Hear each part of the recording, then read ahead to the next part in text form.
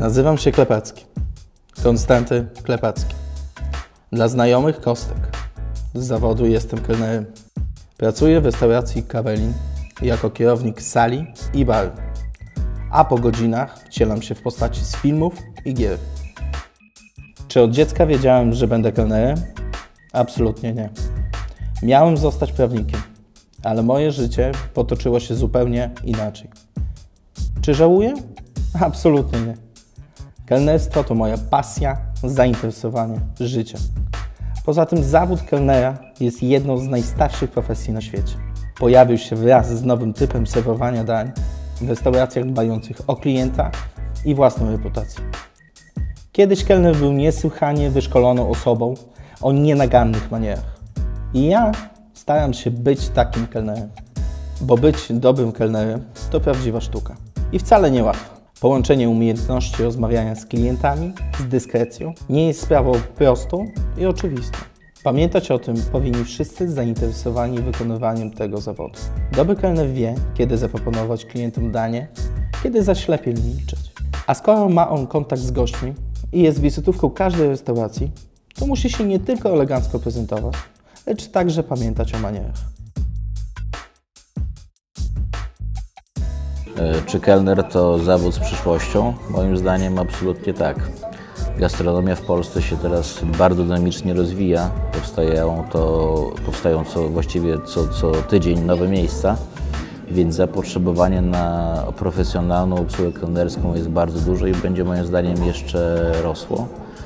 E, I w zakresie ilościowym, ale też w zakresie jakościowym, ponieważ e, do tej pory mieliśmy taką sytuację, że byli tak zwani kelnerzy starej daty, e, których e, z wiekiem i z czasem jakby ubywało, a nie mieli następców, ponieważ osoby, które pracowały w gastronomii traktowały tą pracę albo jako pracę dorywczą, albo jako pracę na wakacje, a nie było tak zwanych jakby młodego pokolenia kelnerskiego, a teraz to młode pokolenie kelnerskie zaczyna się tworzyć, ponieważ ludzie dochodzą do wniosku, że ten kelner to może być zawód taki poważny. Młodzi ludzie coraz bardziej to widzą, coraz bardziej profesjonalnie do tego zaczynają podchodzić i myślę, że oni sami zdają sobie sprawę, że właśnie kelner to jest zawód z przyszłością. Jakie cechy powinien, być, powinien mieć kelner? Moim zdaniem kelner to poza takimi cechami, cechami fizycznymi typu prezencja, aparycja, kondycja fizyczna, no bo to ciężka fizyczna praca, często gęsto, to powinien mieć dużo tych miękkich kompetencji, czyli po pierwsze powinien lubić ludzi i powinien lubić pracować z ludźmi.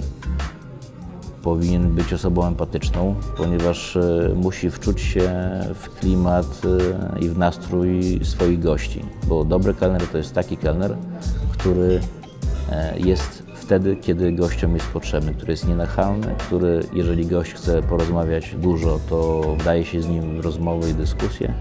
Jeżeli chce tylko złożyć zamówienie i na tym zakończyć jakby swój pobyt w restauracji, szybko zjeść i wyjść, to też jakby uszanuje to i, i, i dopasuje się i do nastroju, i do wymagań gościa, więc powinien być po prostu dobrym psychologiem. Powinien lubić ludzi, przebywanie z ludźmi i powinien się umieć dopasować do nastroju gości. Jak wygląda moja praca? To praca zmianowa i bardzo elastyczny grafik, co pozwala mi na rozwijanie swojej pasji i dostosowanie pracy do rytmu mojego życia. Nocne marki mogą pracować w nocy, a ranne ptaszki obsługiwać na przykład w śniadaniu. Dzień pracy zaczyna się mniej więcej o godzinie 10, 11 i trwa zazwyczaj do zamknięcia restauracji, czyli do ostatniego gościa. I na tym nie kończę. Często wracam do domu i myślę o nowych rozwiązaniach. Jak jeszcze lepiej pracować? Jak przyciągać więcej gości? Ja tym po prostu żyję. I nie jest tak, że zamykając drzwi restauracji, kończę pracę. W tym zawodzie nie ma monotonii i chyba to mi się podoba najbardziej. Niby ta sama restauracja, ci sami koledzy z pracy, podobne menu, ale codziennie inni goście, inne historie ludzkie, inne wydarzenia.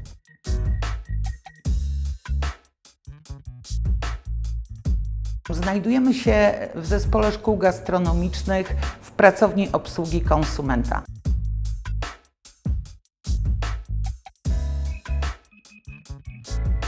Po ukończeniu szkoły mam zamiar pracować w klubie 27 Piętro w Warszawie jako barman. To jest y, rodzinny biznes i moje klasyfikacje zawodowe, jakie będę miał po ukończeniu tej szkoły, to jak najbardziej przydadzą mi się w tej pracy i będą respektowane przez innych pracowników oraz pracodawców.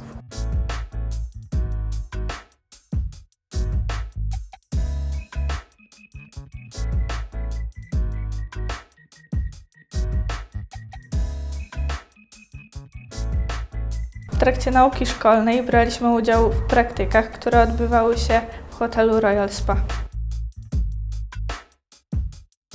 Nasi uczniowie zdobywają kwalifikacje jako kelner, ale także mogą ukończyć kursy baristyczne, barmańskie, sommelierskie.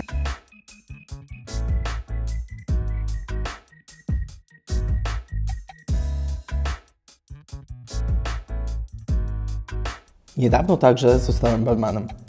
Obecnie jestem także międzynarodowym tapsterem piwa.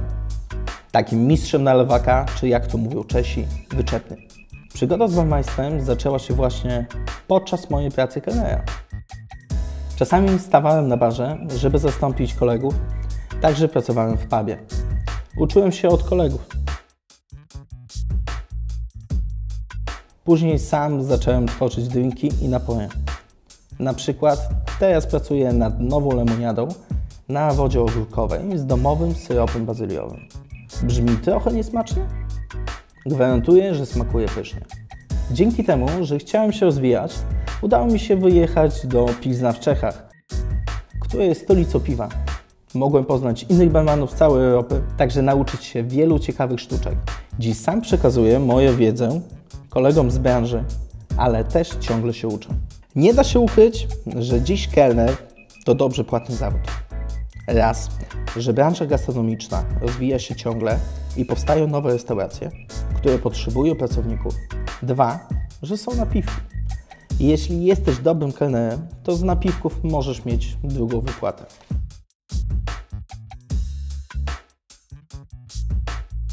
A ja jej zdecydowanie potrzebuję, aby rozwijać swoje hobby. Pasjonuję się bowiem cosplay.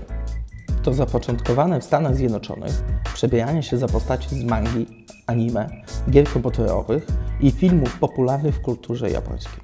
Ta zabawa ma już sporą tradycję, bo podczas pierwszego Worldconu w 1939 roku Forrest J.